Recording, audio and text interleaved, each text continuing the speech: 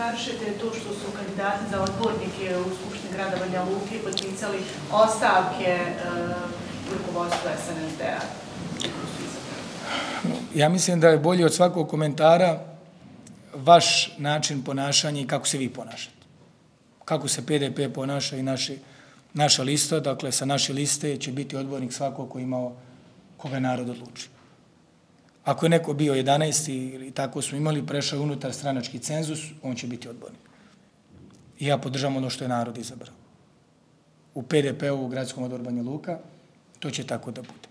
Mi imamo sedam odbornika i mogu da kažem da je to ogroman rezultat, 21.000 e, glasova i da e, kod nas će narod redati i odrediti odbornike sa jednom zapetom malom koja prirodno, ako neko od tih odbornika sutra bude kandidovan za načelnik ili neku drugu izvršnu e, poziciju, onda ide naredni do njega. Ali to nije kršenje narodne volje, to je opet u skladu sa, sa zakonom. Gdje on preuzme tu poziciju, a svoj mandat sačuva, ako sutra dođe do nekih promjene ili se promijeni neki stav mišljenje, može da se vrati u skupštinske klupe, to je sada novo po, po zakonu. Tako da, meni je najbolje da ja ličnim primjerom i stranka koju vodim, ličnim primjerom pokaže da mi poštujemo volju građana, da svi legitimno izabrani, svi odbornici našoj listi kandidati koji su prešli unutar stranački cenzus, e, imaju pravo da sjednu u svoje skupštinske klupe i ovaj, to je demokratska volja, mi ćemo to poštovati. Sve drugo mimo toga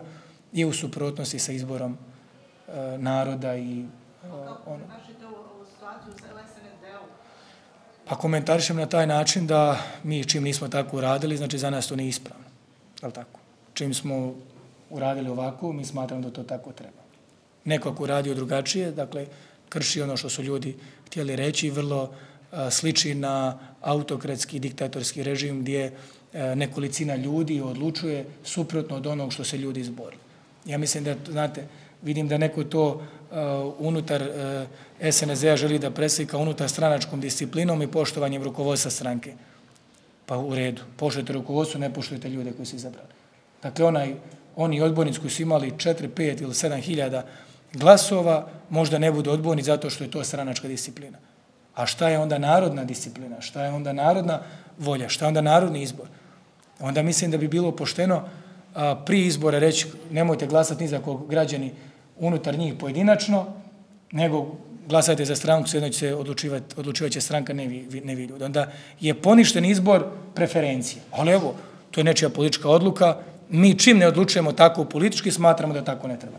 Što pa je namjera da se, e, da se ispravi nepravda na strana preferencijama, pa nisu prošli ljudi koji su imali, ne znam, 2,5-3 hiljade glasova, a prošao je neko koji je imao 300 glasova? nije prešao e, cenzusom Ne razumijem šta pričate. Da, neko imao više glasova, a nije prešao... E sada možemo...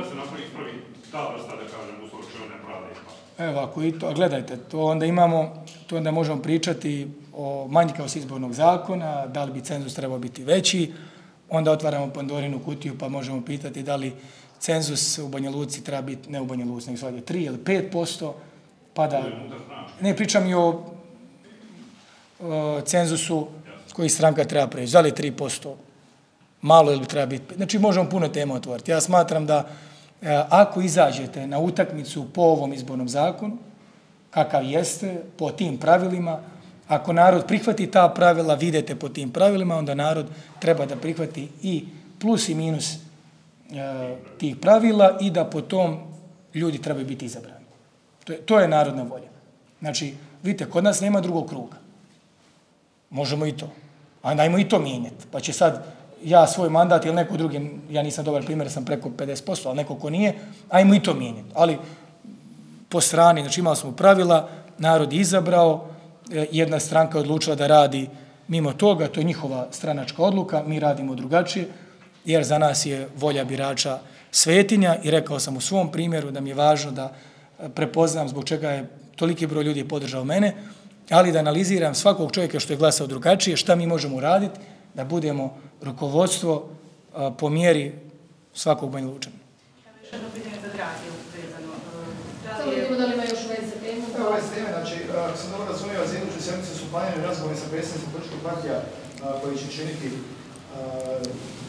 Skupštini grada Luka. Da li se razmišljali o sastancima sa liderima najvećih političkih partija u Republici Srpskoj kako bi se postigao taj što ste vi rekli nekakav minimum, minimum minimuma šta to recimo je e, neka donja crta ispod koje niko ne ide, preko koje niko ne ide, znači recimo sa Slavnićem, Dodikom, Čiprilovićem.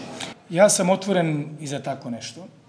Međutim, e, prvo smo se odlučili na ovo da vidimo da li ovdje imamo sagovornika, da li ovdje imamo ljude koji mogu o tome da odluče, da li će doći spremni, ko će se odazvati i kako će izgledati.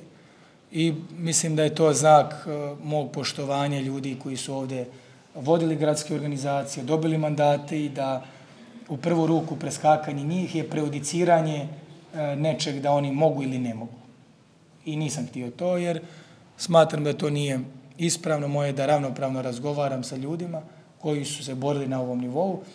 Neki od tih ljudi, poput gospodina Čubrilovića ili Dodika i tako dalje, nisu učestvovali na ovim izborima, jesu predsjednici stranaka, ali oni imaju svoje predsjednike gradskih organizacija, imaju svoje liste, imaju ljudi koji odgovaraju Banja Luci i Banja Lučanima. E, to je prvi krug razgovora. Ukoliko vidimo efekte ovakve ili onakve, ja sam otvoren da na neke sastanke, pozovem e, i rukovodstvo i predsjednike stranaka, ako vidimo da naša Banja Luka ima probleme. Ja sam za Banja Luku otvoren da razgovaram sa svima. To se do sada vidjeli. Posljednje dvije godine moju takvu politiku su mnogi kritikovali. Zvali su je simbiozom, zvali su je ovako, onako. Ja tu politiku zadržavam. Ja ću sa svima da razgovaram, kogod vodi institucije Republike Srpske, kogod vodi bilo koje ustavne institucije, koga god narod birao, kogod je izabran i kogod je imenovan, kako god bilo, ispoštao svoje propise, ja mogu da razgovaram samo sa legitimno izabranim ili imenovanim predstavnicima građana. Sve drugo je jedna dječja igra. Ja ne bježim o tome da razgovaram sa svim predstavnicima stranaka, da razgovaram sa uh, rukovodstvom Republike Srpske o razvoju Banja Luke i o tome šta Banja Luka može da uradi. Moja su vrata po tom pitanju otvorena, to nije simbioza, to je odgovornost. Danas mogu da kažem da ću E, ovako ponašanje da još više manifestujem iz prostog razloga jer je narod dao legitimitet tome. I hvala građanima što su to prepoznali.